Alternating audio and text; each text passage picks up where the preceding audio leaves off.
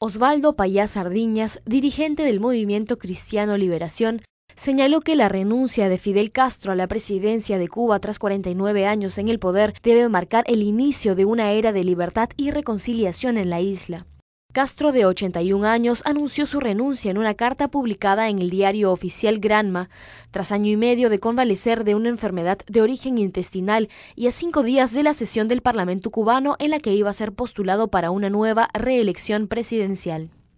Osvaldo Payá pidió a la Asamblea Nacional trabajar inmediatamente para transformar las leyes y permitir que los ciudadanos tengan derechos a expresarse, asociarse, transformar la ley electoral, convocar elecciones libres, liberar presos políticos pacíficos o para que en orden y en paz, en un ambiente de reconciliación, el pueblo cubano pueda iniciar una nueva etapa de su vida con la ayuda de Dios.